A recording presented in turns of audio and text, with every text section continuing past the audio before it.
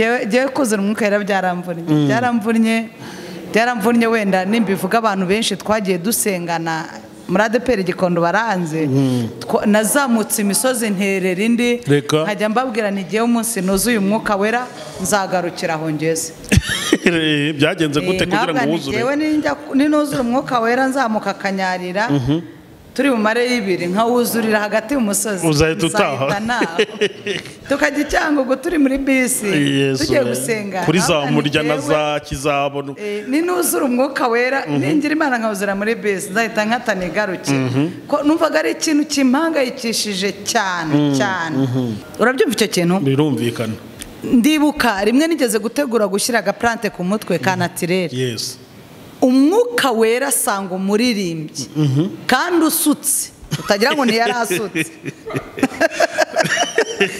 Usutse Eh. arazinduka tugeze ku rusengero arambwira ati mushumba umwuka yambwiye. Ndabwo yakubwiye iki? Ati yambwiye ngo ntuzasuke. Yo! Numva aranyeshe. Njyewe ubwanjye nshobora kugenda mu nzira nkaba nzi ko nzajya mu ijoro neza. Nkaba ngenda mbyiyumvamo mbyiyumvamo mbi- mbifiringa ngenda mu nzira. Kabiri hari igihe ngenda mu nzira nkumva ntaryo kubera iki? Umwanditsi w'ijambo aravuze ngo iyo nzira izitwa iyo kwera. Abanduye imitima bose ntabwo bazayinyura. Mbwira abantu baduteze amatwi. Ijuru ni ryiza. Cyane ko abantu benshi batanga.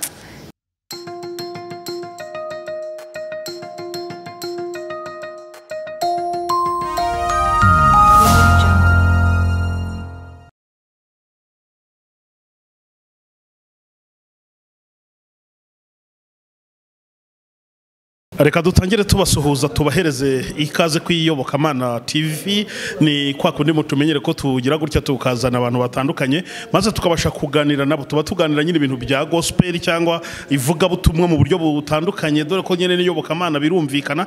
Turi kumwe rero n'abantu hano murababona nyine ni abantu beza cyane. Hano hari umuntu wanyandikiye arambaza ati joel uri umunyamakuru ukora gospel? Ndashaka unsobanurire ndashaka kumpa forumire. Yo kugira ngo umuntu azajye mu ijuru. Na- namusubije nkoresheje ijambo ry'imana ndavuga ati nta kintu uretse kwizera yesu kirisito nk'umwami nyine n'umukiza kuko ni we uzajyana abantu mu ijuru. Arangije arambaza se ngo mu gihe umuntu yaba amwizeye hakabaho gusubira inyuma wenda akagwa ariko akagwa akajya mu byaha ariko akizeye yesu. Ati ubwo muntu azajya mu ijuru niba ari yaraforomire ndavuga nti ibyo byo birandenze ndaza kubikubariza abantu. Ndashaka mpera uno muntu igisubizo foromire yo kugira ngo umuntu azajye mu ijuru ni iyihe? Ah, kujya mu ijoro buriya ntago ari umuntu ubihitamo. Ni imana.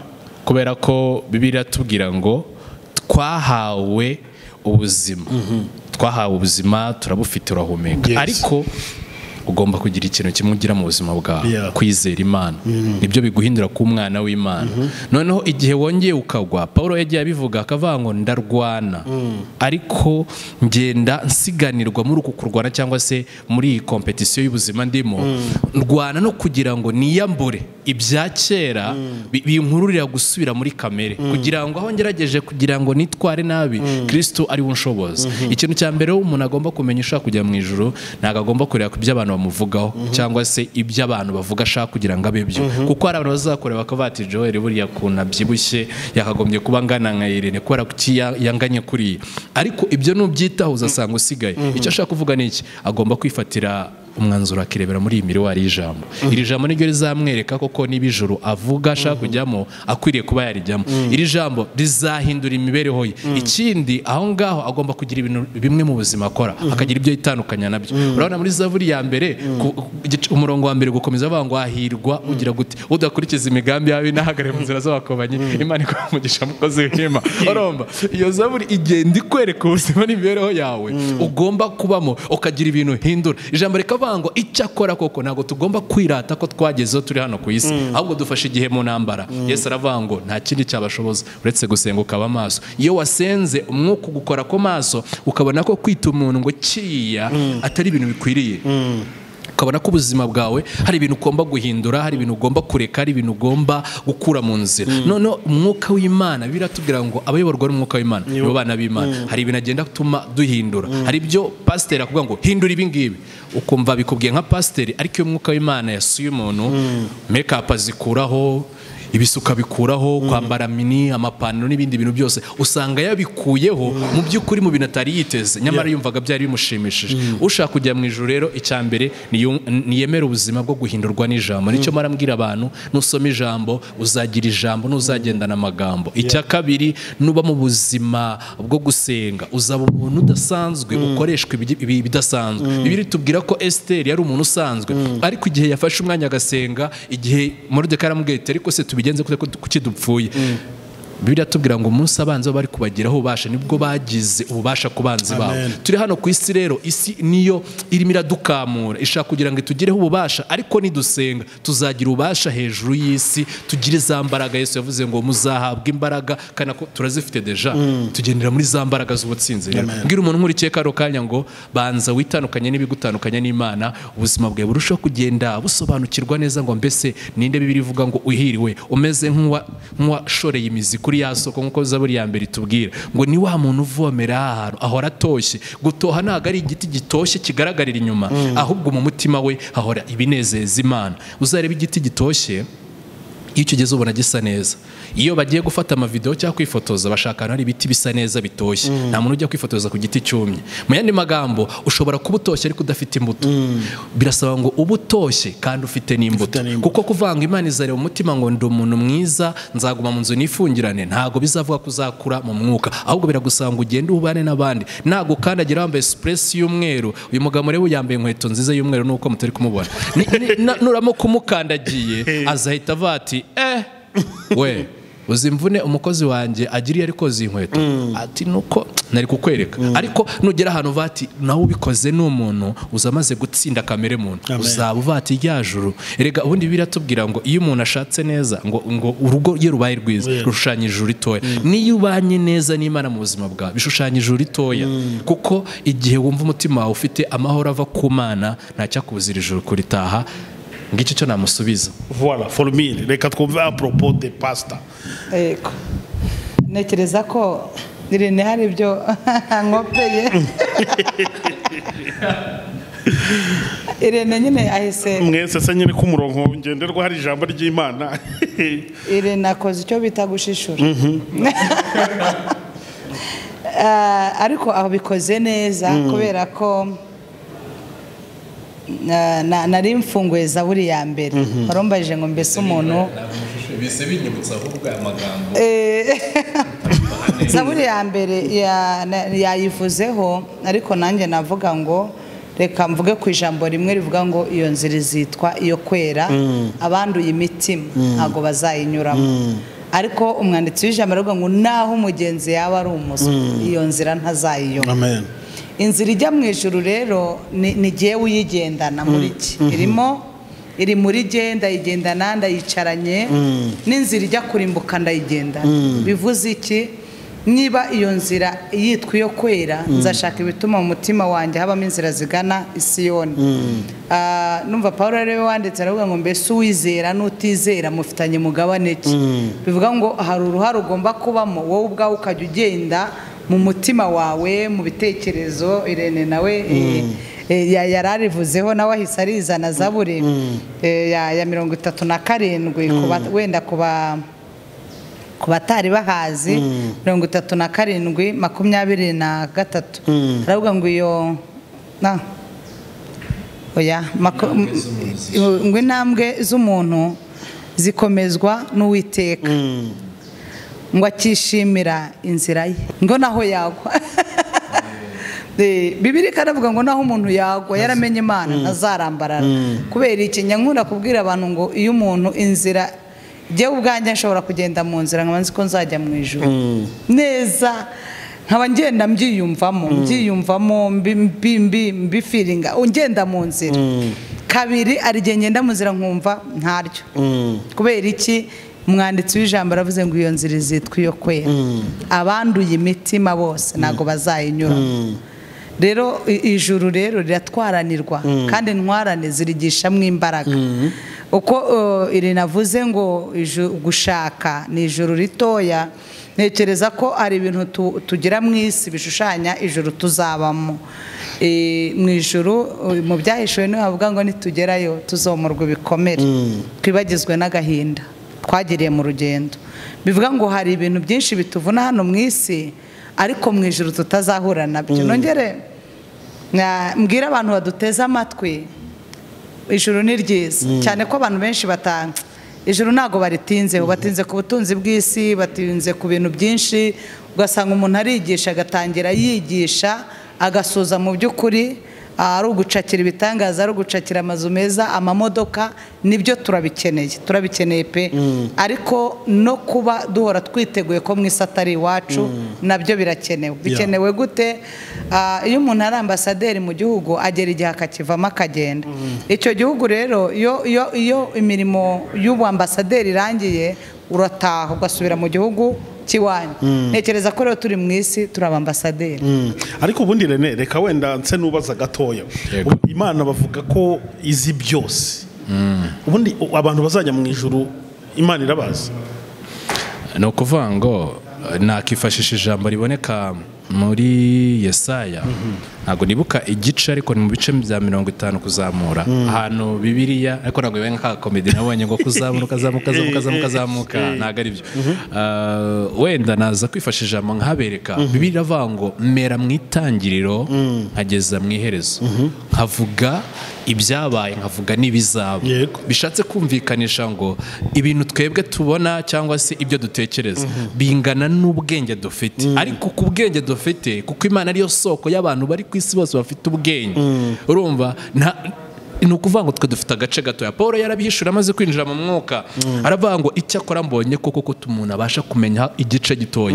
Ngo ariko uwo munsi ngo tuzabasha kumenyaho byose. Byose. kuvuga ngo uyu munsi sinshobora kumenya ibiri mu bitekerezo by'imana byose. Ariko namenya umugambi imfiteho. Ariko umugambi ifite ku bantu bose ni uko ivuga muri ezekiyeli ikavuga ngo ntabwo nshaka ko ugiye gupfa yapfa azira ibyaha bye nakiranuke ahinduke agaruke aze mu nzira nziza. Bivuga ngo imana ishaka icya mbere abantu bakora bava mu byaha. Icya kabiri bakera imbuto. Noneho ibindi bisigaye bijyanye n'imibereho n'ubuzima ibyo ngibyo imana ivuga ngo wowe gikoreza umutwaro w'ubuzima bwawe. Ubundi ibindi ubimariye. Niko ivuga muri za mirongo itatu na karindwi? Hari umurongo yaravuzeho kubera ko cyagiye yarambuye muri zaburi ya mbere mbona bihuye n'ibyo yari kuvuga. Noneho yaravuze ijambo wenda abantu batagira ngo ntabwo twari twabiteguye. Ahubwo avuze ijambo mpita nibuka ahantu ryanditse muri biriya ahantu havuga ngo iyo umuntu aguye ariko inzira z'imana izishimira niyo yagira gute? Ntabwo ashobora guherayo. Hari abantu uzabona baravuye mu byizerwa akubwira ati iby'imana ndumva narabiha- narabihaze. Ariko nyuma y'igihe gito ugiye kubona naragarutse agarutse no kuvuga ngo sinshaka kuzongera kubisubiramo. Icyo nshaka kuvuga aha ni iki? Ni uko iyi mikorere y'imana itandukanye n'uko twebwe tubyibwira. Niko yanavuze muri yesaya mirongo itanu n'umunani umurongo w'umunani kugeza ku murongo wa cumi na rimwe. Iravuga ngo ariko mutekereza ko imikorere yanjye ihwanye n'iyanyu cyangwa ibyo mwibwira bihwanye n'ibyo nibwira. Niyo mpamvu ishaka kugira ngo twebwe woza n'ubuzima bwawe ubihereze imana nurangiza uvuge ngo mana nta kindi nsigaje uretse guhagarara muri zaburi ya mirongo itatu na karindwi mirongo gatanu avuga ngo ikoreze uwiteka urugero rwawe ibindi azabisohoza iyo wamaze gutura aho ngaho ugira ubukene ukabwira ngo mana ubukene urabureba wagira watinda mu busiribateri tu busiribateri urabureba iguha igisubizo. Ntuze kumbaza ku cya madamu ngo mvuze ibi by'ubusiribateri urumva? Ik- ikimara kuvuga icyo kintu ikimara kuvuga icyo kintu irakubwira ati ibindi we bimparire uraje urebe yego. Uraje urebe. Sibyo? Ubundi ikagukorera ubuzima bufite ubuhamya ubuhamya bifite ibimenyetso bihamiriza abatazi imana ko hari imana iri kumwe nawe. Amen, abadukurikiye muvuge ngo amen. Kandi mwibuke rwanda gospel star live ni igikorwa cyo gushyigikira abahanzi b'abanyarwanda gituma abahanzi batera imbere bakamenya imana kandi bagakorera imana nta bukene nta mutima mubi nta shyari nta rwango iterambere ku mukristo cyangwa se ku buzima bw'umuhanzi hakabaho umuhanzi uramya imana ufite iterambere. Nibyo bintu bitatu bigomba kuranga abantu bari mu murimo wo kuramya no guhimbaza imana. Yes uh, ijambo ry'imana riti n'indirimbo ati bose bari bateraniye hamwe mu cyumba bategereje isezerano ry'umwami yesu. Hashize iminsi batangira kuvuga indimi zitamenyekana. Ubwo twagiye kwa pantekote bose, bari bateraniye. bate- mama queen pastor. Abakristo turi mu gihe turi kwitegura kwizihiza umunsi w'imanuka ry'umwuka wera nyine ni umunsi witwa pantekote pantekote ivuze iki kuri pasiteri mama queen? Pantekote ni ubuhe butumwa yagombye gusigira abakristo? Rene nawe araba yitegura ikibazo gisa n'icyo nawe arakibazwa. Ah, pantekote navuga ngo ni ikintu gikomeye ku mukristo. Mm, nya- cyane ko pantekote isobanura umwuka wera. Yes. Umwuka wera rero ikintu ntekereza ko umariye abakristo cyane ko muri iyi minsi ubona benshi badashishikajwe nawo. Mm-mm. ntabwo bashishikajwe nawo ahubwo ba- ba- bashishikajwe n'impano z'umwuka. Eh, nizo ubona zigwiriye mu bantu ariko imbaraga z'umwuka wera nizo zikenewe ngewe nizo mbona natindaho. Izi mpano z'umwuka wera umumaro zimaze yesu ajya gusubira mu ijuru ni bwo yasize ahaye isezerano abigishwa arababwira ngo simbasize nk'imfubyi mu byakozwe n'intumwa. Arababwira ngo ahubwo nzaboherereza umwuka wera azabana namwe. Arababwira ngo kandi ntibishoboka ko ab'isi bamuhabwa kuko batamuzi kandi batamurora ngo ariko mwebwe muramuzi. Arababwira ngo azabana namwe. Bivuze iki rero? Yesu yabonaga agiye kudusiga ahantu hakomeye kandi koko harakomeye. Ntabwo horoshye. Iyi si ntago yoroshye. Ntago yoroshye. Paul ni we wabyanditse aravuga ngo turi mu isi dufashe igihe mu ntambara. Ndetse n'ibiturwanya ni byinshi ariko agerekaho ijambo rivuga ngo ndasiganwa ariko sinsa nk'utazi yongera aravuga ngo ndaterana ibipfunsi ariko simpusha aravuga ngo nshaka gusingira. Icyo kirisito yamfatiye. Ntago paul avuga iri jambo yari afite izindi mbaraga muri we. Yari afite ubundi butware muri we. Yari amaze guhura n'izi mbaraga. Umva izi mbaraga icyiza cyazo. Izi mbaraga z'umwuka wera zahuye na sawuri ari mu nzira ajya i damasiko ngo ajya kurenganya ubwoko bw'imana agikubitana n'izo mbaraga. Bibiri avuga ngo agwa hasi yubamye.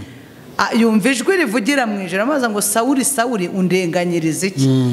Yumva za mbaraga ziramuboshye ziramu- ziramubohoye. Aramubaza ngo urinde uwo ndenganya ndi gushaka kuvuga ku mbaraga z'umwuka wera. Imbaraga z'umwuka wera umumaro wazo ukomeye zishobora kukugeraho wari igicamuke mu buryo bwose. Zikakuhonda ukarangira. Zishobora kukugeraho wari ucitse intege ukongera ugahaguruka ugakorera imana. Ah, izi mbaraga z'umwuka wera rero navuga eh, ni nziza. Jyewe kuzana umwuka wera byaramvunnye byaramvunnye byaramvunnye wenda nimbivuga abantu benshi twagiye dusengana muri adeperi gikondo baranze. Twa- nazamutse imisozi nterera indi. Nkajya mbabwira ntigiye umunsi nuzuye umwuka wera nzagarukira aho ngeze. Byagenze gute Eh, kugira ngo ntabwo wuzure njyewe ninjya ninuzura umwuka wera nzamuka akanyarira. Turi mu mare y'ibiri nkawuzurira hagati mu musozi Uzahita utaha. Tukajya icyangugu turi muri bisi. Tugiye gusenga. Kuri za murya na za kizabona eh, ninuzura umwuka wera ningira imana nkawuzura muri bisi. Nzahita nkatana igarukira ko numvaga ari ikintu kimpangayikishije cyane cyane. Impamvu rero uyu mwuka wera akenewe umwuka wera ni umujyanama waje ku umuntu uri kureba kino kiganiro kuri bohoka tv n'iyobokamana tv ntabwo yabura kwibaza rero. Iherezo ry'umusozi mama kwini yuzuriyeho umwuka wera. Yari awugeze mu gasongero byaje kurangira atari ku musozi bibaye mu cyumba. Byagenze gute kugira ngo pasita mama kwini yuzuzwe umwuka wera ahabwe impano z'ubuhanuzi n'izindi agira azwiho nyine nk'umuhanuzi w'imana. Ah, izi uburyo nuzuye umwuka wera rero bitandukanye n'uko nabyibwiraga. Eh, numvaga nzasenga amasengesho y'iminsi irindwi nkahita nuzura umwuka wera. Na natererana n'abandi umusozi nyankunda kubwira abantu ngo abantu batuzuye umwuka wera bahuye n'ibyago. Mpamvu ni iyo mujyanye gusenga mugasenga nk'amasengesho y'iminsi itatu. Wowe utaruzura umwuka wera. Bajya mu mwuka bakajya mu bihe. Wowe ukajya ukanura. Inzara ikakurya ukananirwa ariko abandi bibereye mu iyo zindi uri mu mbaraga. mwuka hari izindi mbaraga uvamo u- ubamo ukarenga ibiboneka ukareba ku bitaboneka. Hanyuma rero na- nazengurutse iyo misozi yose nsenga amasengesho atandukanye wenda ndi abenshi bazakurikira kino kiganiro nuzuye umwuka wera ndi sejemu. Ndi mu rusengero. Bazi. Ishoje iteraniro. Ye- soje iteraniro kumwe umuntu atanga amatangazo nari naraba mwarimu nari umukristo kumwe umuntu atanga amatangazo avuga ati "Tu- tu- turashoje kuvuga tu biranga. Numva nuzuye izindi mbaraga ndabyibuka. Esiteri mafubo ma- madamu wa pasiteri karangwa mushumba karangwa ni we wahise abona ko nuzuye umwuka wera. Njyewe numva ngize ubwoba mpita ninjira munsi y'ameza njya kwihisha. Wahita ahamagara abahanuzi bari mu iteraniro barangota bankuba baranyegera baransengera mpita ntobora nuzura imbaraga z'umwuka wera mvuga mu ndimi ariko ntabwo nahise mpanura nyine urabyumva. Yeah. Ariko navuga ngo umuntu utaruzura umwuka wera afite ikibazo yitwa ngo ni umukristo. Kubera iki? Tubona ko yesu naza gutwara itorero ntabwo azaza mu isi ngo avuge ati rene haguruka tugende. Joel haguruka tugende. Ahubwo ngo azahagarara mu kirere. Bivuga ngo nahagarara mu kirere umuntu utuzuye umwuka wera bizaba ikibazo. Kuko tuzazamurwa n'uwo mwuka. Niba tuzazamurwa n'uwo mwuka rero utawufite ashobora kugira amahirwe mabi yo kuzasigara mu isi. Njye niko mbitekereza. Ah, kuko impanda y'imperuka cyangwa impanda y'uwiteka tuzayumva mu mwuka. Mm. Nifuriza umuntu wese wakijijwe wamenye imana ko yakwinginga imana akuzura n'umwuka wera. Ikindi cya kabiri uyu mwuka wera agira umumaro. Agira umumaro agira umumaro nkanjye yangiriye umumaro ndi umucuruzi. Agira umumaro mu- mu- uyu uyu mwuka wera mwurirana indege mu- mukajyana. Hari igihe twajyanaga nawe tanzania naba ndi kumwe n'abandi batera nyine burage batangiye guseka bati bigende gutya nkumva wa mwuka weraje nta wundi umwumva akambwira atari ko gabanya uyu mwuka wera mwurirana indege mukajyana mu kindi gihugu. Mukarara muri hoteli nk'uko abandi baziraramo.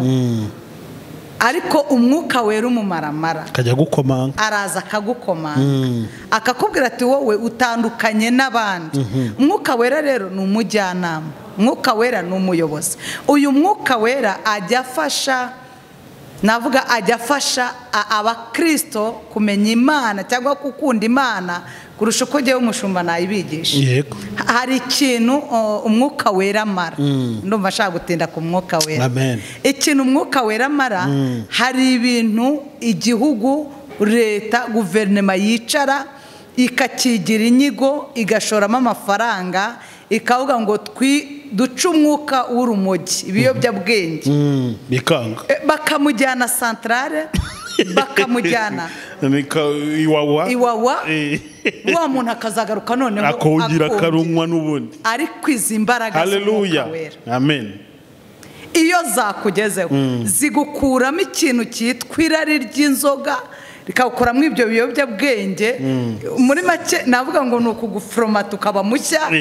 Wa mwuka wera ashobora kugonda umuntu wagendanaga deredi ntumenye igihe yazogoshe. Kandi mama wamubyaye byaramunaniye i- igihugu cyarateranye kigategura na bije bikanga. Ariko izi mbaraga z'umwuka wera aho zageze zirandura kamere mu muntu zirandura icyaha zirandura byinshi. Ikindi navuga hari igihe umwuka wera aguhunga. Aguhunga byagenze gute? Ariko ntabwo ajya kure. Nicyo mukundira ntabwo ajya kure.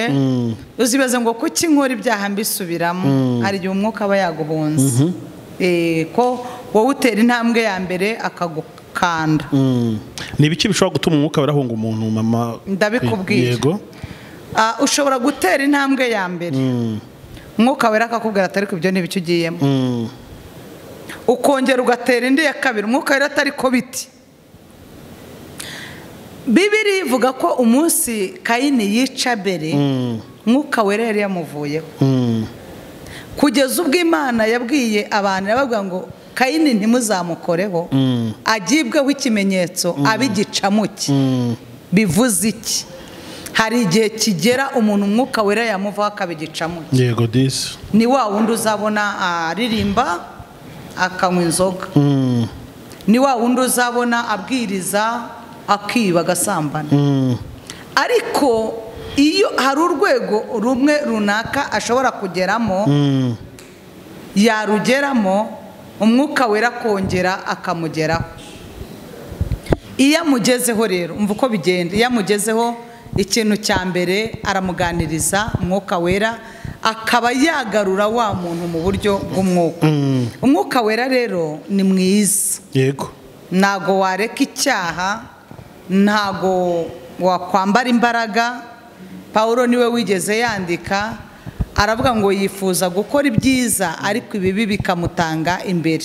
Ese bimutanga imbere byagenze gute? Ni cya gihe joel ni cya gihe umwuka wera iyo yagiye ibi bigutanga imbere. Ariko iyo umwuka wera aje iyo umwuka wera akugezeho hari izindi mbaraga zikuyobora. Ntekereza ko rero mu ruhande rumwe n'urundi turi mu minsi ya pantekote nk'uko ubimbajije ariko nakwifuriza ko buri wese unkurikiye muri uyu mwanya yakongera akagira ibihe byo gusenga agashaka imbaraga z'umwuka wera cyane ko umwuka wera kumenyesha ibyo abantu batazi. Hanyuma izi mbaraga z'umwuka wera nk'uko nazibabwiye nizo zonyine zishobora guhindura umuntu nizo zonyine zishobora kukugira uwo ugomba kuba we. Izi mbaraga z'umwuka wera numva nazisabira umuntu wese uri ku isi. Ah, hari ijambo nkunda riba muri yesaya ibice mirongo itanu na bibiri umurongo waho wa mbere.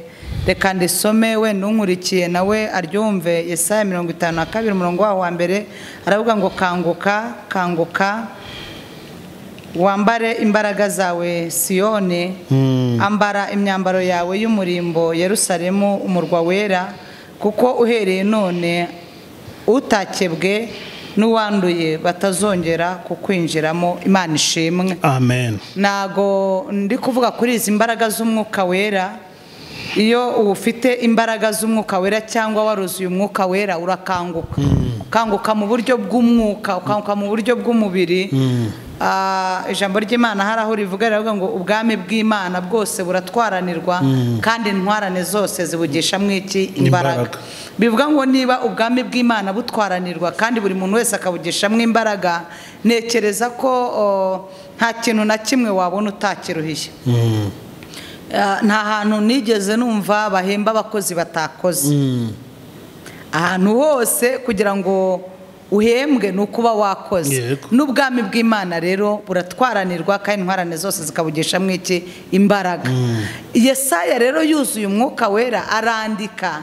Aravuga ngo nimukanguke mwambare imbaraga mwambare iby'umurimbo. Kuko uhereye none utakebwe n'uwanduye batazongera kubinjira.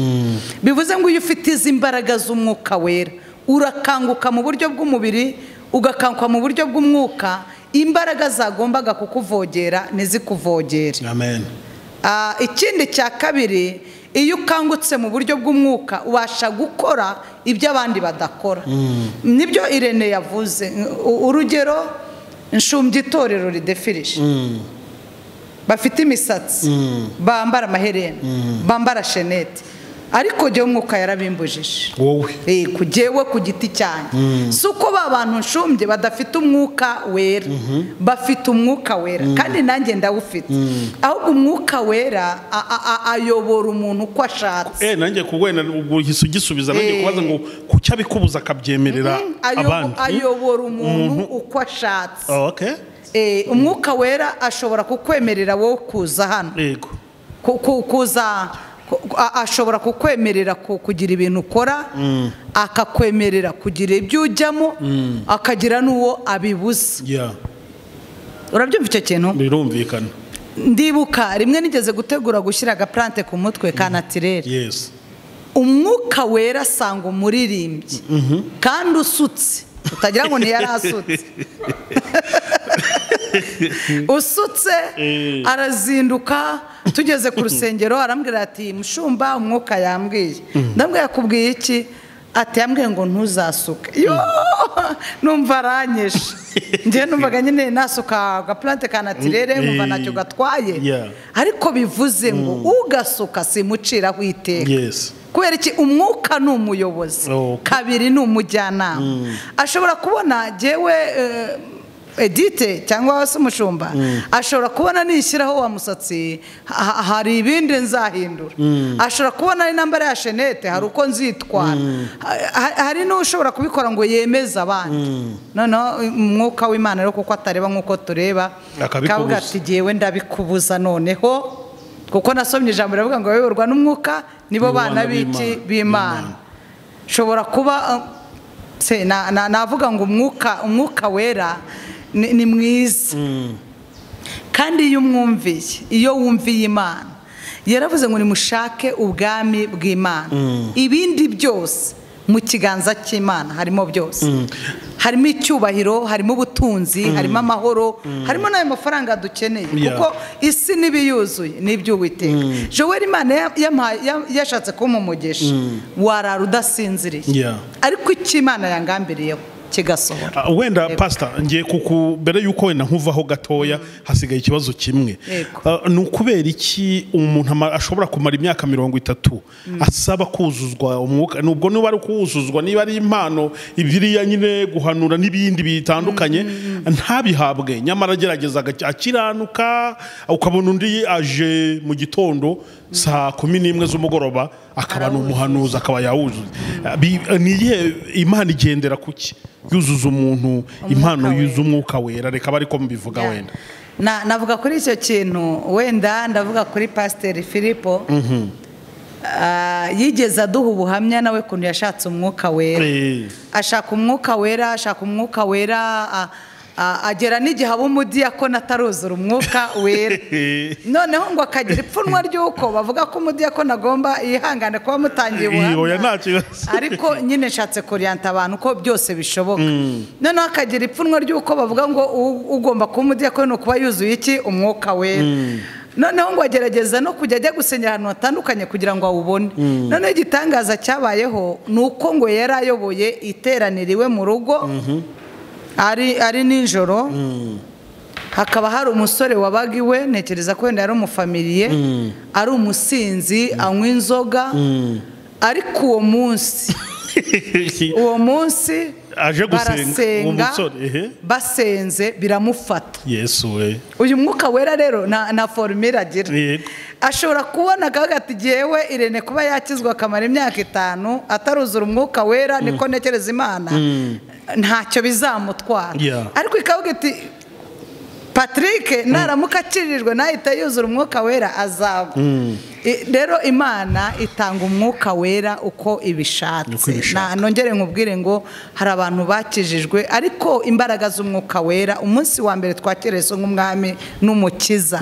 Umwuka wera aba muri twe. Ahubwo haba harimo impano z'umwuka wera n'ibimenyetso by'umwuka wera. Ariko umwuka wera umunsi wa mbere wakira yesu nk'umwami n'umukiza nta kindi cyabikwemeza atari umwuka wera. Bivuga ngo abantu bose bagira umwuka wera bakiriye yesu nk'umwami n'umukiza ahubwo icyo batandukaniyeho ni ibimenyetso bibagaragazaho uwo mwuka wera n'imbuto z'umwuka wera. Amen. Yego. bakunzi b'iyobokamana tv ndetse na buhoka tv mu- murumva ko mu by'ukuri mama queen agerageje rwose kutunyuriramo pantekoti icyo ari cyo? Aradusobanurira iby'umwuka yewe adusangiza n'ubuhamya bw'uko yawuzuye.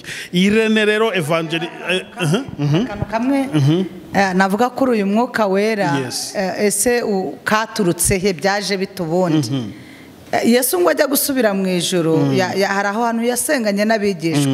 Numvise aka kantu ntagasiga hari aho yasenganye n'abigishwa bari mu ishyamba bari mu gashyamba ngo ari gusenga abasigaho gato ngo ajya gusenga. Agarutse asanga barasinziriye. Uzi impamvu bari basinziriye? Bari bataruzura imbaraga z'umwuka wera. Barasinzira. Yesu ngo agarutse muri bo arongera arababwira ati ariko se mwabanye maso nanjye? Arababwira ati nimusenge mutagwa mu moshya. Ndumva ashaka kubwira abantu ngo nibongere ibihe byo gusenga kugira ngo batagwa mu moshya, iyo udasenga ugwa mu moshya iyo udasenga hari ibintu byinshi bikwataka kubinesha ntubishobore. Hanyuma yesu agiye gusubira mu ijoro nongere mbabwire ko ah, mu bihe byose yesu yabanye n'abigishwa ntabwo abigishwa basenze. Ntabwo biyirije ahubwo bize gusenga aho yesu agiriye mu ijoro yego. Iki kintu Turacyumvikana. bishatse kuvuga ngo yesu yarebye uburyo agiye kubasiga abona nabasiga badafite imbaraga z'umwuka wera bazatatana iyo umuntu adafite izi mbaraga z'umwuka wera akaba mu itorero ararisenya. Iyo umuntu adafite imbaraga z'umwuka wera akaba ari umunyamubiri. Bapanga yitatu akababwira ko batayashobora. Iyo adafite izi mbaraga z'umwuka wera ba- bagaragaza ikintu kigomba gukorwa mu itorero. We akabona kiraremereye kandi koko kiba kiremereye. Kuko umwuka wera ni nka- ni nka- ni nka- ni nk'amavuta eh, mu modoka. Eh, amavuta yari mu modoka imodoka biroroha uba wumva yoroshye Ni- nigeze kugenda rimwe ngeze mu nzira ntwaye imodoka numva vora nkase gutya biranga. Ndaka ni kwa Generis bigenze gute? N'ibiki bimbayeho Eh. urumva na ntabyo narinzi ndongera ndakata vora ibi giti neza kuyihindukiza biranga. Hanyuma mpita mpagara ahantu kuri sitasiyo n'ubwoba bwinshi. Mbwira umuntu wari uhari nti ntigize ikibazo. Ati bigenze gute? Ndamubwira nti imodoka yanjye iranze vora. Ibaye igiti kuyikata byanze.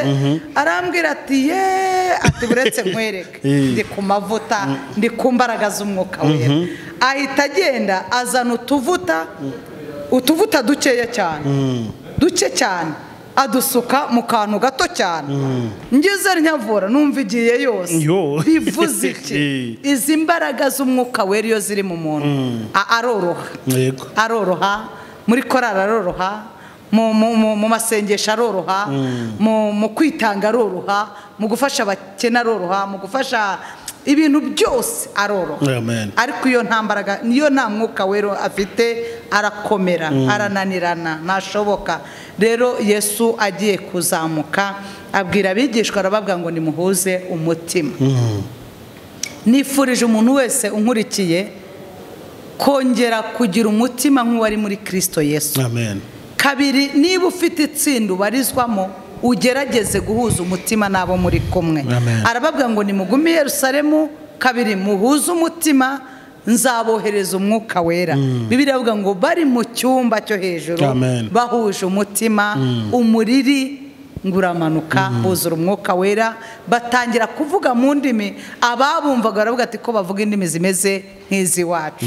Rero mbifurije iyo wuzuye imbaraga z'umwuka wera ni kado ni impano yesu yadusigiye ajya kuva mu isi kuko yabonaga iyi si iruhije ariko ufite umwuka wera abasha gukorera imana bitamuvunnye cyane ko yavuze ngo umutwaro wanjye ntabwo uremereye umutwaro wa yesu ntabwo uremereye uremera kuko nta mbaraga z'umwuka wera ufite. Ariko iyo uzifite uroroha.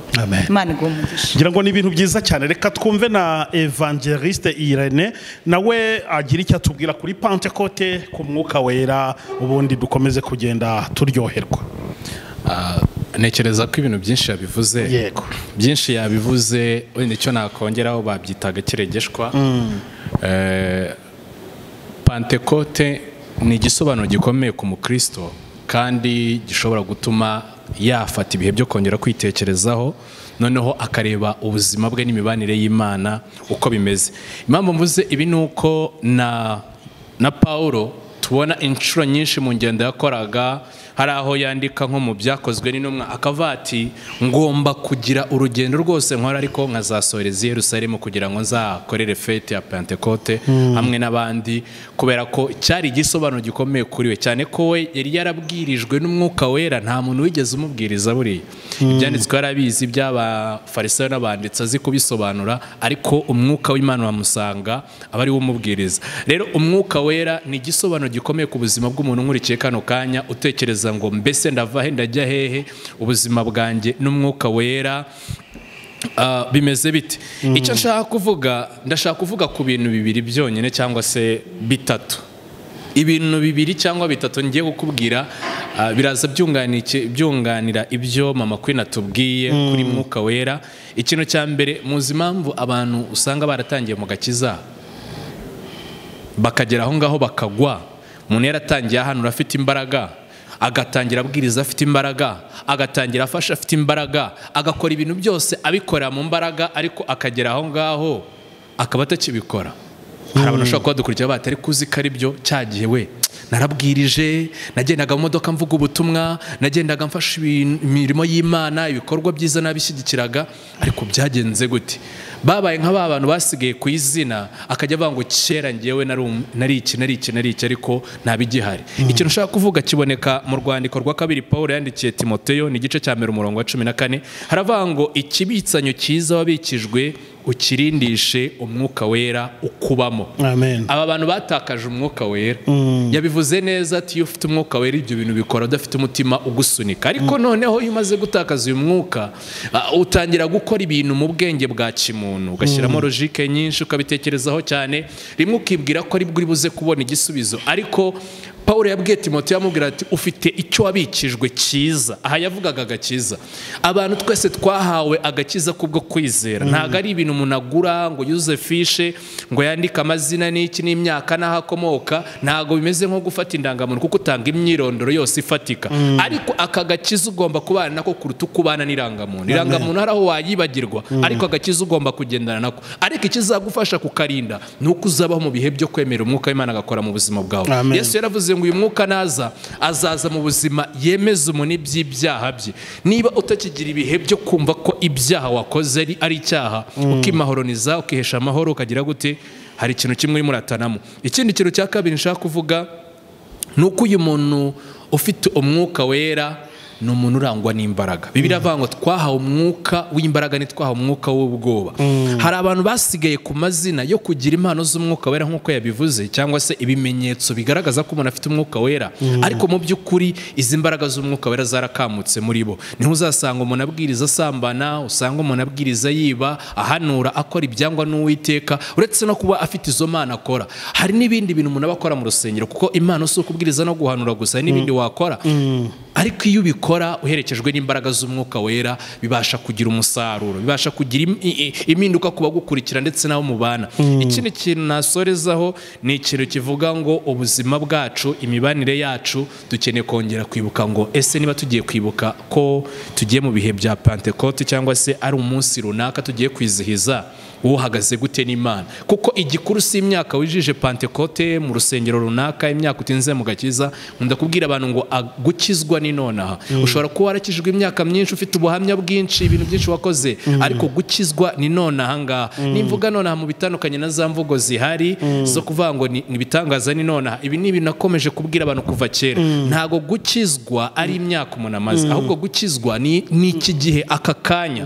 Ese kano kanya ubuzima ubayemo bimeze gute? Kuri telefone mu gitondo wavuganaga nande. Wahoze ureba ibiki ku, ku nkuru cyangwa se ku ma website? Hari abajya kureba amaporunogarafi hari abajya gukora ibyangwa n'uwiteka mu buryo bumwe cyangwa ubundi ugasanga ubuzima bwe yaranamutse kubera social media n'ibindi bikamwibagiza kugirana ubusabane n'imana. Hariho ibintu bitanu njya mbwira abantu rero cyangwa se reka mbigabanye mbigire bine ku muntu ubashije kubana nawe ndamubwira ati icya mbere uzaba umuntu usenga icya kabiri uzaba umuntu uyoborwa n'ukuri kwa bibiliya icya gatatu uzizera imana ufite cyangwa udafite icya kane uzarangwe n'urukundo. Hari ibintu wigeze kuvanga uraza kumbazaho ngo bijyanye ngo n'impano z'umwuka ngo abahanura abavuga mu ndimi n'iki ngo ese abatabikora nta mpano ngo nta mwuka wera bafite?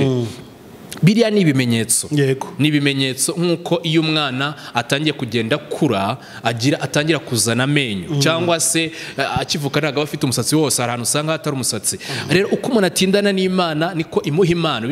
Iravuga ngo mwifuze cyane cyane impano yo guhanura. Hari abifuza iyo guhanura kuvuga mu ndimi gukora ibitangaza ariko nawe umwuka w'imana abana nawe. Kuko biravuga ngo yesu yagiye yaravuze ngo mbohereje umufasha. Uwo mufasha abana natwe. Hari ibyanditswe ndi bwifashishe nka bibiri biza kubyemeza ni icyanditswe cya mbere kiboneka mu rwandiko ah, rwanditswe na, na, na, na, na, na, na petero. Ni igice cya kabiri umurongo wa gatanu. Haravuga ngo namwe ngo mwubakwe nk'amabuye mazima kugira ngo mube inzu y'umwuka. Ubwoko bwa- ubwoko bw'abatambyi bwera bwo gutamba ibitambo by'umwuka bishimwa n'imana ku bwa kristo yesu. Mu rwandiko paul yandikiye abikorino hari ahantu avuga amagambo aravuga ngo ese nimuzi yuko imibiri yanyu ari insengero z'umwuka uri muri mwe. Uwo mufiteho wavuye ku mana kandi ni muri abanyu ngo mwigenge. Biboneka mu rwandiko rwa mbere eh, paul yandikiye abakorino gatandatu cumi n'icyenda. Hagaragaza ngo twebwe ubwacu turi ubuturo bw'umwuka.